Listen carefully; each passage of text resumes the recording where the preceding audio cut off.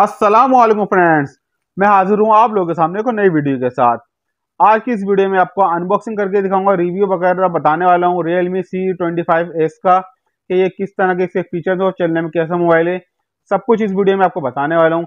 अगर आप लोग मेरे चैनल पर नए हैं और आपने अगर अभी तक मेरे चैनल को सब्सक्राइब नहीं किया तो जल्दी सब्सक्राइब कर लें।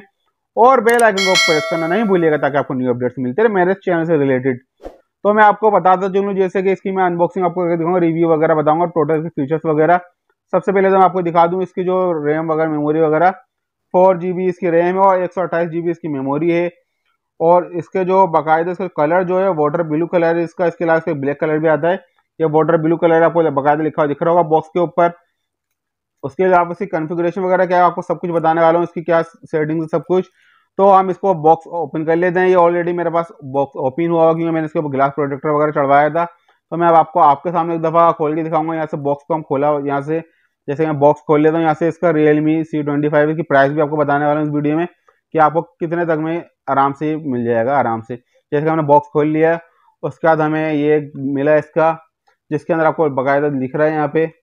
इसका कवर वगैरह जेली वाला पाउच जिसको हम बोलते हैं, इसका जेली वाला पाउच है, जैसे कि आपको दिख रहा है, जेली वाला पाउच इसके अंदर है ऑलरेडी सा इसके अंदर। और यूज़र मैनुअल बुक है, जिससे आप गाइड बुक बोलते हैं, जिसको आप, जिससे आप देख के फीचर्स वगैरह के बारे में देख सकते हैं कि इस तरह से फीचर यूज़ करने और क्या फीचर्स वगैरह हैं इसके। सब आपको इस बुक में मिल जाएगा, बाकायदा जैसे कि आपको दिख रहा है, ये बुक है यहाँ इसकी। और इसके अलावा आपको दिख रहा है जेली वाला पाउच, जो काफ़ी अच्छा पाउच है जेली वाला, आपको दिख रहा है जैसे जेली वाला कवर काफ़ी अच्छा जेली का कवर तो इसको हम रख देते हैं साइड पे। और उसके बाद जो आपको बाकायदा दिखेगा, इसके अंदर आपको ये है मेरा मोबाइल, जैसे कि इसको उठा के साइड में रख देता हूँ। पहले आपको बता देता हूँ, इसके मोबाइल में हमें क्या क्या मिला इस बॉक्स के अंदर हमें। इस बॉक्स के अंदर आपको जैसे कि दिख रहा है, इसका चार्जर मिला है और चार्जर, आम चार्जर नहीं है, एटीन वोट वाला चार्जर है, जो आप काफ़ी तेज़ स्पीड में आपको मोबाइल चार्ज करेगा। जल्दी स्पीड में ज़्यादा टाइम नहीं लेगा, जल्द से जल्दी आपको मोबाइल चार्ज हो जाएगा। ये इसकी काफ़ी खासियत, अच्छी बात है ये।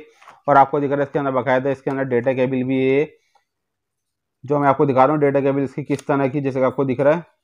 डेटा केबल इसकी मैं खोल के दिखा दूँगा आपको, जैसे कि डेटा केबल के अंदर दी हुई ऑलरेडी डेटा केबल भी ये, और ये चार्जर एटीन वोल्ट का चार्जर टेन वोल्ट वाला नहीं है, आपका मोबाइल जल्दी स्पीड में चार्ज करेगा। उसके अलावा ये सब चीज़ें हो गए हम आपको मोबाइल आपको खोल के दिखाऊँ, बकायदे मोबाइल आपको जैसे कि दिख रहा है, अंदर है, मैं इसको मोबाइल को निकाल लेता हूँ। मोबाइल ऑलरेडी ओपन ऑन करा हुआ है मैंने इसको, ताकि टाइम आपको ज़ाया नहीं हो, इसलिए ऑलरेडी मैं पहले से इसको ऑन करा हुआ है। मैं आपको यहाँ से दिखा दूँ, जैसे कि हमने इसको ऑन कर लिया डिस्प्ले आपको दिख रहा है कलर काफ़ी अच्छे हैं इसके, काफ़ी अच्छा डिस्प्ले है इसका। और मैं आपको यहाँ से इसका बता दूँ, इसके फीचर्स वगैरह, जो सेटिंग्स में जाके मैं आपको सेटिंग्स में इसके लेके चलता हूँ। बाकायदा सेटिंग्स में हम चलते हैं सबसे पहले, ताकि आपको वहाँ से इसके दिखा दूँ अबाउट वगैरह में क्या इसकी क्या इसकी कॉन्फ़िगरेशन वगैरह क्या है।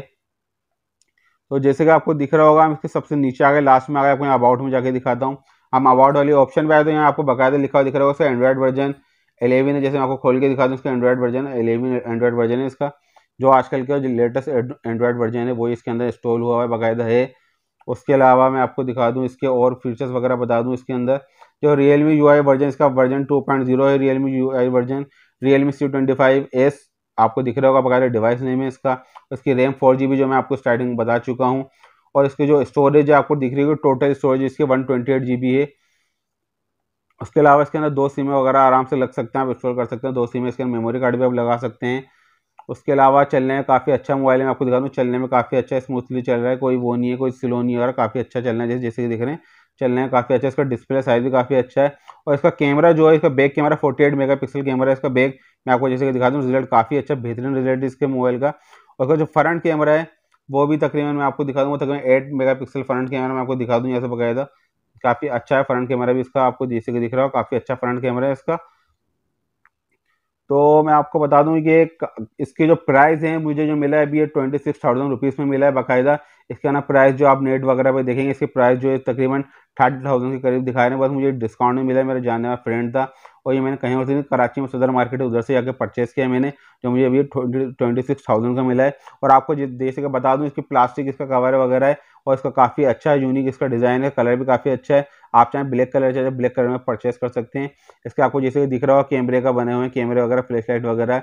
और इसका एक और ख़ास बात, इसकी जो ये आपको फिंगरप्रिंट वाला दिख रहा है, मैंने अभी लगाया नहीं फिंगरप्रिंट लोग मगर काफ़ी फास्ट काम करता है फिंगरप्रिंट लोग जैसे आप करेंगे, आम मोबाइल में हमने देखा है, काफ़ी टाइम लगता है उन्होंने फिंगरप्रिंट से।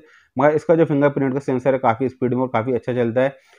तो उम्मीद करता हूँ आपको मेरी वीडियो पसंद आई होगी। अगर आपको मेरी वीडियो पसंद आई होगी तो ज़रूर मुझे बताइएगा, आपको वीडियो कैसी लगी?